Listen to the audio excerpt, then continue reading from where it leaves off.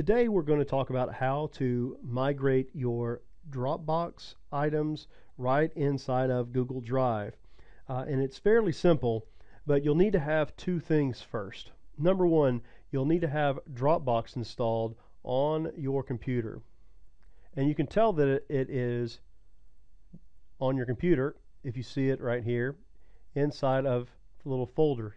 Click it right there, or you can actually right click on the start menu, click open Windows Explorer, same thing. It'll say Dropbox. If you don't have that icon, you can go to dropbox.com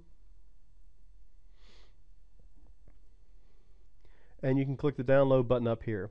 You'll need to fully uh, install. That means um, you'll need to, after the download, double click it to start it. You'll need to put in your credentials and when it's all said and done, it will show up in the folder right here.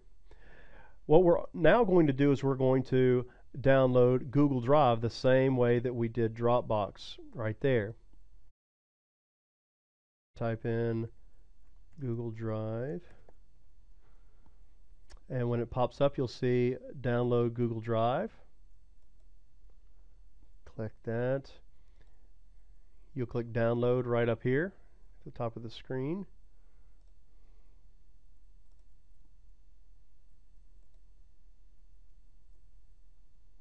Alright and then you will click uh, whatever your device is. Uh, this is a PC so I'm going to download it. Uh, accept and install. Yes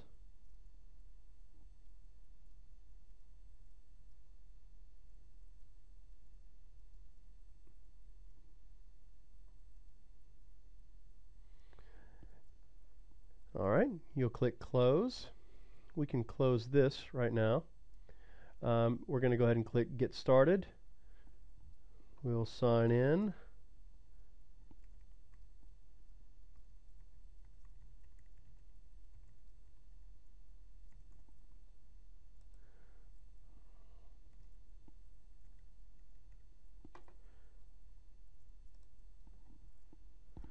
Alright, click next next, next, click done.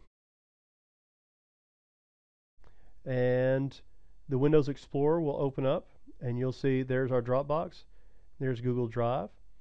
If you don't know what this is, it is the folder right down here, or if you right click on the Start menu, Windows Explorer.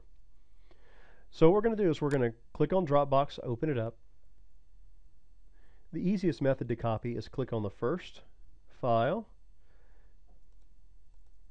and then you press and hold the control button and press A. That's for PC. On a Mac, you're going to press and hold Command and press A, and it selects all. To copy, you're going to press and hold Control and press C. On a Mac, it's going to be Command C. You're going to click on Google Drive right here, and notice how I have it highlighted here, not over here. I've clicked it right here and then I'm going to press Control V or I'm going to press Command V.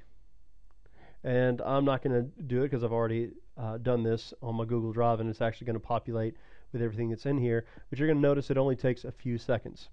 Um, once it's done you're good to go. You have now migrated all of your Dropbox items into your Google Drive